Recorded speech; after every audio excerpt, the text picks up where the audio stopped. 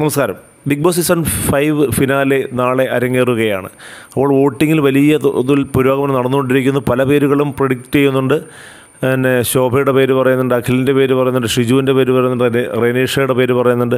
പക്ഷെ നമ്മൾ ഓർക്കേണ്ടത് നമ്മൾക്ക് ഇഷ്ടപ്പെട്ട മത്സരാർത്ഥി ജയിച്ചു വരണമെങ്കിൽ ഹോട്ട്സ്റ്റാറിൽ തന്നെ വോട്ട് ചെയ്യണം എന്നുള്ളതാണ്.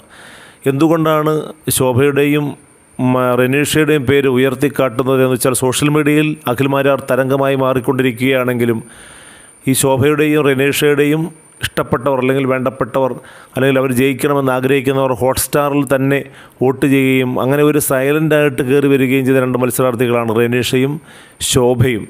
അതിൽ ആർക്ക് വേണമെങ്കിലും നറുക്ക് വീഴാം. ഒരു ശോഭയും അഖിൽമാരാരുമാണ് എപ്പോഴും എടുത്തു പറയുന്ന രണ്ട് മത്സരാർത്ഥികൾ.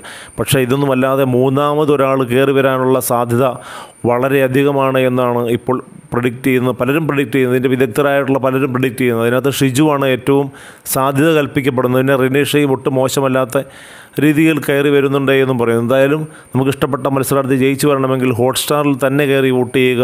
അഖിൽമാരാരാണെങ്കിൽ അങ്ങനെ ശോഭയാണെങ്കിൽ അങ്ങനെ റിനേഷയാണെങ്കിലും ഷിജു ആണെങ്കിലും ആര് ജയിക്കണമെന്നാണ് നിങ്ങൾ ആഗ്രഹിക്കുന്നത്? തീർച്ചയായിട്ടും നിങ്ങൾ ഹോട്ട്സ്റ്റാറിൽ തന്നെ വോട്ട് ചെയ്യുക.